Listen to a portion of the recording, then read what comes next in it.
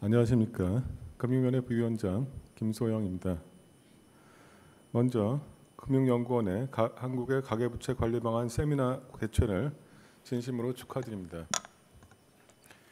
뜻깊은 자리를 마련해 주신 이항용 한국금융연구원 원장님과 금융연구원 관계자분들께 감사드립니다. 오늘 토, 론회 사회를 맡아주신 광노선 교수님, 주제 발표를 해주시는 금융연구원 박춘성 실장님과 하나금융경영연구소의 정희소, 정희수 소장님, 토론에 참석해 주시는 패널 분들과 가계부채 정책에 평소 관심을 갖고 참석해 주신 모든 분들께도 감사의 말씀을 드립니다. 오늘 세미나가 우리나라 가계부채 문제 해결을 위해 기탄 없는 토론의 장이 될 수 있도록 참석자 여러분의 다양한 정책적 제언을 부탁드립니다. 가계부채는 지난 10여 년간 우리 경제의 잠재 리스크 요인으로 인식되어 왔습니다. 글로벌 금융위기 이후 저금리 환경이 지속되는 가운데 부동산 시장 과열, 코로나 위기 등을 거치면서 2021년 GDP 대비 가계부채는 105%대에 이르렀습니다. 현 정부 들어 금융당국의 관리 노력 및 주택시장 안정 등으로 인해 가계부채가 안정적으로 관리가 되고 있, 으나 가계부채 문제에서 어, 완전히 벗어났다고 보기는 어렵습니다.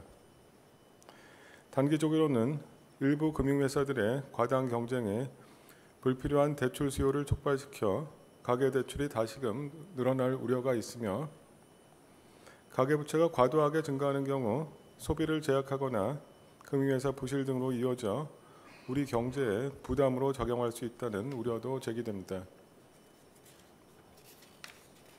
우리 경제가 가계부채발 잠재 리스크로부터 완전히 벗어날 수 있도록 단기적으로는 가계부채 증가 속도를 안정적으로 관리하면서 중장기적으로는 우리나라 가계부채가 장기적 시기에서 안정화될 수 있도록 어, 제도적 기반을 구축, 제도적 기반의 구축을 서둘러야 합니다. 이를 위한 금융당국의 가계부채 정책 방향은 명확합니다. 첫째, 올해 가계부채 증가율을 GDP 성장률 내로 관리할 것입니다. 향후 대내외 경기 여건이 변화하더라도 가계 대출이 과도하게 확대되지 않도록 전 금융권의 전 금융권과 긴밀한 소통을 이어가는 한편 관계부처 간 협력을 통해 정책 모기지 공급도 세심하게 관리해 나갈 것입니다. 둘째, 갚을 수 있을 만큼 빌리는 대출 관행을 가계대출 전반에 확고하게 정착시킬 것입니다. 스트레스 DSR 2단계가 7월부터 차질 없이 시행될 수 있도록 금융권과 함께 준비해 나가는 한편 서민 실수요자의 자금 애로가 가중되지 않는 범위 내에서 DSR 적용 범위를 점진적, 단계적으로 확대하여 나의 실질적인 원리금 부담이 대출 과정에서 고려될 수 있도록 내실화할 계획입니다.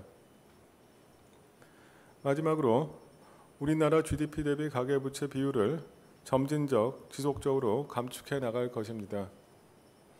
장기적 시기에서도 가계부채 증가 속도를 꾸준하게 관리하여 현재의 안정적인 흐름이 지속되도록 할 것입니다. 부채는 양면적입니다. 적절하게 활용된다면 내 집 마련 등 당장 현재의 소득으로 이룰 수 없는 많은 기회를 이룰 수 있게 하나 상환 능력을 넘어서는 과잉 대출로 이어진다면 미시적으로는 개인의 삶이 피폐해지고 거시적으로는 금융 불안의 요인이 될 수 있을 뿐만 아니라 소비 제약 등 경제의 부담으로 작용할 수 있습니다. 이러한 문제를 해소하기 위해 DSR 원칙 적용이 중요합니다. 다시 한번 오늘 세미나 개최를 축하드리며 한국의 가계부채 구조 개선을 위해 아낌없는 정책 제언을 부탁드립니다. 감사합니다.